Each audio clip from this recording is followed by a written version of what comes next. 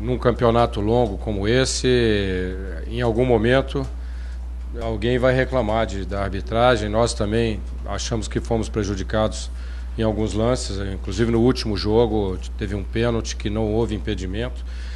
E, mas é, o Cruzeiro está muito atento a tudo, né? Eu acho que a gente torce para que a arbitragem seja é, correta, né? Que, que seja uma boa arbitragem, que passe despercebida e que Flamengo e Cruzeiro façam um grande jogo. É, o Flamengo está bem montado, tem um time jovem de, com muita velocidade.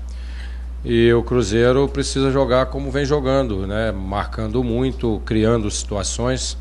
É, podemos até criar uma, uma estratégia específica para o jogo, pela vantagem que temos, conter o ímpeto do Flamengo e, e, procurar jogar. É o que o Cruzeiro tem feito sempre. É um jogo que promete ser muito competitivo, equilibrado, é, talvez de poucas chances, então é preciso estar preparado para fazer o gol e, e, quem sabe buscar essa classificação tão almejada. O Dagoberto que está voltando, jogador decisivo também.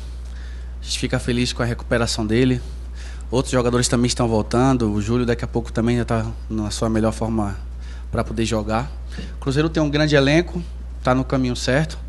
Agora a gente precisa de resultados, né? E mais do que nunca, amanhã a gente precisa fazer uma grande partida e, e conquistar a classificação.